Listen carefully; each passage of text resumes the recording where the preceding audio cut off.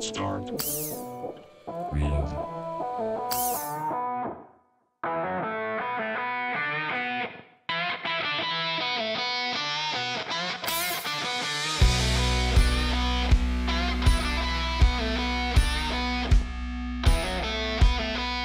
Uh, what the sacral slope is showing is that pelvic mobility. So essentially, this pelvis is rolling back or Right. adding anteversion to the cup when they sit versus when they stand. And so, again, in three dimensional space, you can see that's what 13 degrees difference in anteversion when they sit. But normally, we're just planning on a standing film, or uh, even even before with Mako, we were planning when they were in the CT scanner, so supine. But we don't have that restriction now because of the mobility.